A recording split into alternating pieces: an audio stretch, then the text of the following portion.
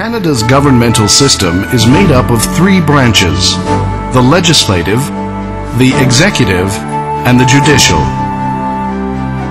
The legislative branch, Parliament, which makes Canada's laws, consists of the Queen, represented by the Governor General, the Senate, and the House of Commons.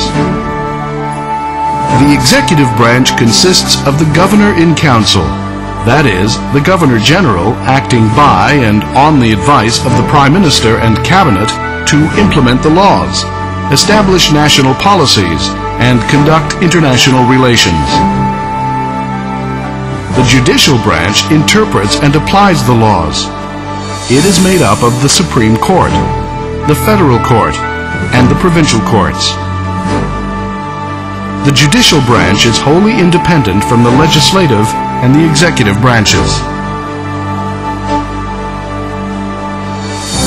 The Governor General serves as Canada's head of state, acting in the name of the Queen. Since 1952, all of the Governors General have been Canadians. Appointed on the recommendation of the Prime Minister, they usually serve for a period of five years. The Governor General ensures that there is always a government to serve Canada. Summons and dissolves Parliament. Opens each parliamentary session with a speech from the throne and gives royal assent to bills, thereby making them law.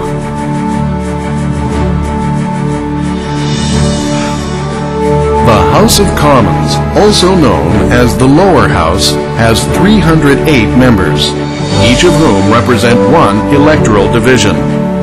Members representing the government and those in the opposition express the views of their constituents, debate questions of national interest, study bills and vote on them. Since members of the House of Commons are elected, all debates on bills related to public spending and taxation are raised here.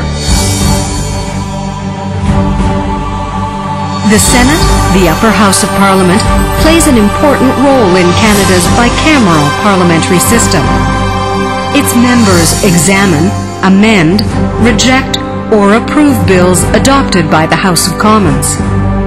Senators also introduce bills, with the exception of those proposing to spend public funds or impose taxes, commonly called money bills, which must originate in the House of Commons. No bill can become law until the Senate has passed it.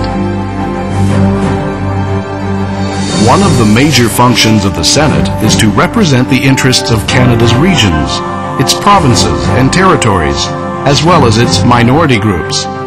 At the time of Confederation, Senate seats were distributed in such a way that each major region of the country had the same level of representation.